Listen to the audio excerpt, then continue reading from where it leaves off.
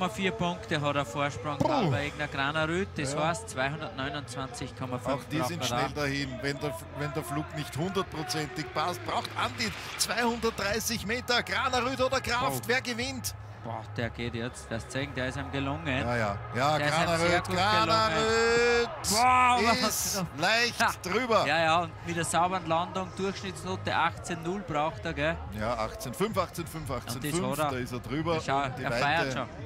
231 Meter. Ja,